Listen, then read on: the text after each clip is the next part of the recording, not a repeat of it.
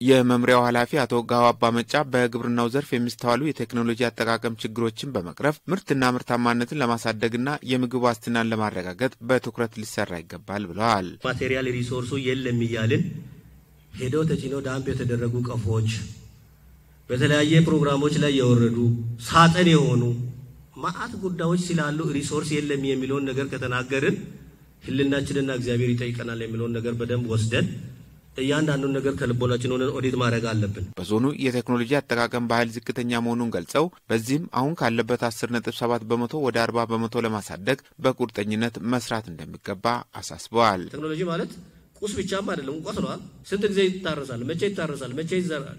መቼ ክትትል ይደረጋል? የሚለው ራሱ ቴክኖሎጂ አይደል?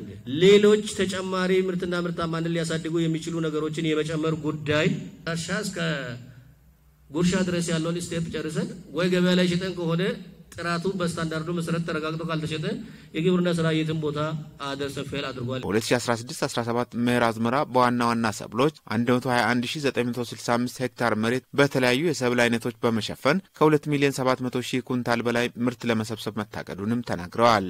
የምርት መጠንን በሄክታር ለማሳደግ እንዲቻል በአዲ ወረዳ የታየው በሄክታር 44 ኩንታል የተገኘበት ምርት ተሞክሮ ወደ ሌሎች አካባቢዎች በማስፋፋት ምርትና ምርታማነትን ለማሳደግ እንደሚሰራም ገልጸዋል። በመድረኩ የተገኙት የከፋ ዞን ዋና አስተዳዳሪ አቶ እንዳሻው ከበደ በግብርናው ዘርፍ የሚስተዋሉ ክፍተቶችን በማረም ምርትና ምርታማነትን ለማሳደግ የሚያስችል ድጋፍ ለማድረግ ዞኑ ዝግጁ ነው ብለዋል። በተለይ በዞኑ ሜካናይዜሽንን ለማስፋፋት ትራክተሮችን ከማቅረብ ጀምሮ የተደረጉ ጥረቶች ቢኖሩም በአንዳንድ ወረዳዎች በአግባቡ ወደ ስራ ለመገባቱ ዘርፉ በታሰበው ልክ ውጤታማ እንዳይሆን እንዳደረገው ተናግረዋል። በቀጣይ መሰል ችግሮችን መፍታት እንዲቻል በየደረጃው የሚገኙ አካላት የተቀናጀ ድጋፍና ክትትል እንዲያደርጉም አሳስበዋል።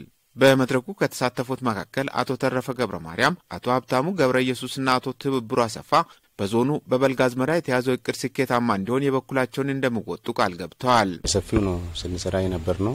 ከዛ ተነስተን አሁን ወደ ሺ አምስት መቶ ሄክታር አካባቢ የምህር ሰብል ዘንድሮ እናለማለን ብለን ነው መነሻ እቅድ ይዘን እየሄድን ያለ ነው እና ሌሎች አካባቢዎች ተሞክሮ ብቻም ሳይሆን ከራሳችን ወረዳ ትምህርት ቤቶቻችን ያሳዩትን መልካም ተሞክሮ ይዘን በሰፊው እንገባለን ብለን ነው ዝግጅት እያደረግን ያለ ነው። አሁን በከተማ ደረጃ የአስር ሼዶች ወደ አንድ ሚሊዮን ገንዘብ ፕሮጀክተር እቅድ ተሰጥቶ በዛ ልክ ወጪ አወጥተን አስር ሼዶችን አዘጋጅተናል። ስታንዳርዱን በጠበቀ ሁኔታ በዚህ አስር ሼዶች ላይ ቢያንስ ቢያንስ ለመቶ ወጣቶች ስራ ዕድል ይፈጠራል። ስለዚህ የዶሮ ዶሮ አስገብተን የአንድ ቀን ጫጩት ዶሮ አስገብተን እንቁላል እስከሚጥሉ ድረስ ለስጋ እስከሚደርሱ ድረስ ዶሮ አስገብተን ለከተማው በዛ ልክ ለከተማው ብቻ ሳይሆን ለሌላም አካባቢ ዶሮን እንቁላልም በስፋት የምናቀርብበት ሂደቶችን ይዘን የጀመርናቸው ስራዎች አሉ። አብዛኛውን የእኛ ቀበሌዎች የበልግ ምርት የሚመረትበት ቢሆንም እንደ ሾቻ እንደ መልጋዋ ያሉ ደግሞ ሙሉ በሙሉ የመኸርን ምርት በስፋት ስንዴን እና ሌሎች ምርቶችንም የሚያመርቱ ናቸው።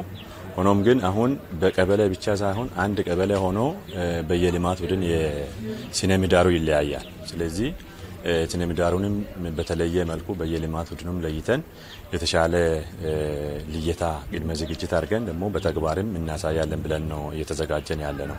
በንቅናቄ መድረኩ በአዝመራው የሚተገበሩ ዋና ዋና ሰብሎች፣ የእንስሳት እርባታ ስራና የአረንጓዴ አሻራ እቅዶች ቀርበው ውይይት ተደርጎባቸዋል።